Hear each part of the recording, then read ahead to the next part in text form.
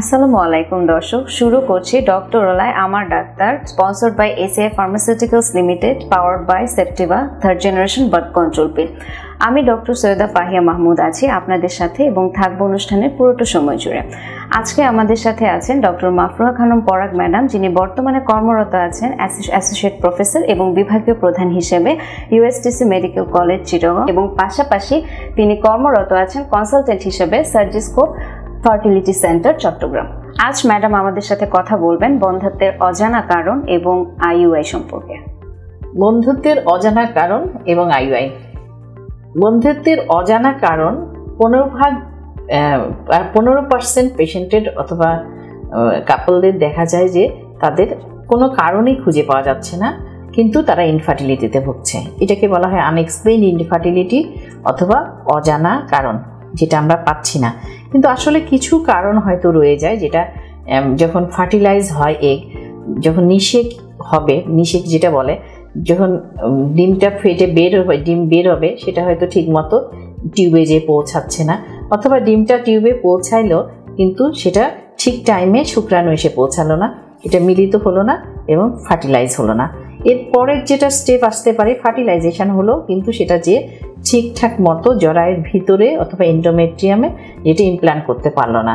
তো এই কারণগুলো যদি ভিতরে হয়ে থাকে, আমরা হয়তো বাইরে থেকে বুঝি না অনেক সময়, কিন্তু এটার আমরা, আমাদের কিছু ট্রিটমেন্ট আছে, যেমন ওভুলেশন ইন্ডাকশান করি, অথবা control ovarian stimulation hyper stimulation করে আইউআই একটা প্রসেস আছে, সেই মাধ্যমে আমরা অজানা বন্ধত্ব অথবা আনএক্সপ্লেন ইনফার্টিলিটি ট্রিটমেন্ট করতে পারি। সেই ক্ষেত্রে আইওয়াই করলে ভালোই সাকসেস রেট পাওয়া যায়। যেমন আইওয়াই এর সাকসেস রেট আইওয়াই মানে কি? আইওয়াই মানে হচ্ছে intra uterine insemination at the time of ovulation যখন ওভুলেশন হয়, ঠিক সেই টাইমে যদি প্রসেস পাম, আমরা ইন্ট্রা ইউটেরাইন একটা ক্যাথেটারের সাহায্যে যদি মানে ফাইন ক্যাথেটার অথবা আইওয়াই ক্যাথেটারের ক্যাথেটার দিয়ে এটাকে অ্যাজ মাস অ্যাজ পসিবল যতটুকু সম্ভব ফান্ডাসের উপরে healthy sperm process sperm at the time of ovulation যদি ছেড়ে দিই ই ট্রান্সফার করে দিই, সেটাকে বলা হচ্ছে ইন্ট্রা ইউটারাইন ইনসিমিনেশন এটার সময়টা কখন?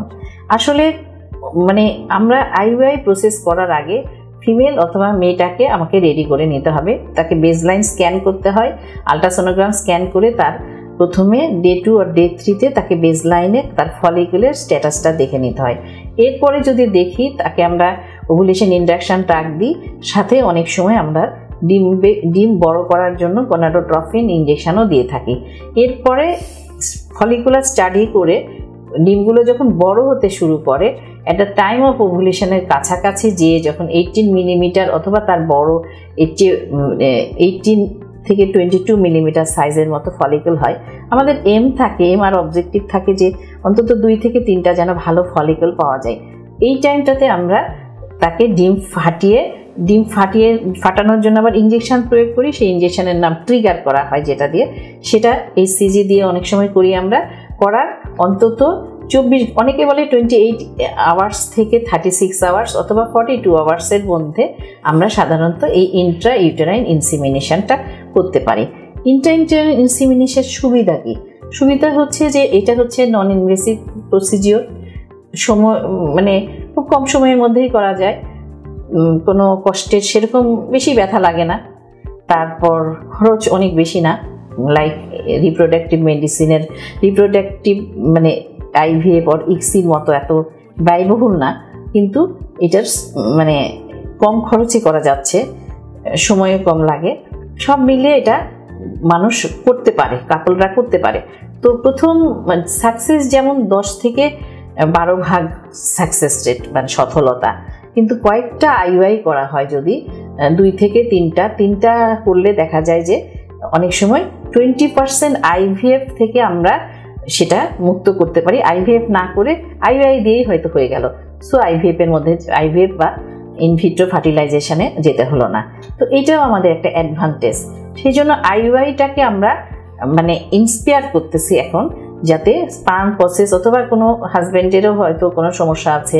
স্পাম কাউন্ট ঠিক আছে, কিন্তু অ্যাস্থেনো স্পার্মিয়া অথবা তাকে দেখা যাচ্ছে মরফোলজিও খারাপ আছে স্থেনও আছে, সেগুলো ক্ষেত্রেও অথবা তাদের কয়ডাল প্রবলেম আছে। হাজব্যান্ড ওয়াইফ ঠিক মতো থাকতে পারে না অথবা ওভুলেশন টাইমটা তারা মেনটেনও করতে পারছে না। সেই ক্ষেত্রেও আইওআইয়ের ভালো রেজাল্ট পাওয়া যায়। আইওআইয়ের এই অ্যাডভান্টেজগুলো আছে। IUI simple procedure short procedure simple পেশেন্টকে আইওআই করার কিছুক্ষণের মধ্যে পনেরো থেকে বিশ মিনিট পরেই তাকে ছেড়ে দেওয়া যায়। সে বাড়িতে যে স্বাভাবিক কাজকর্ম করবে।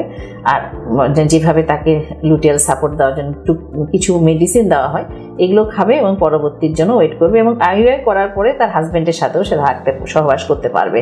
এই ধরনের কিছু পরামর্শ দিয়ে আমরা আইওআইয়ের পেশেন্টগুলোকে সাধারণত ছেড়ে দিই।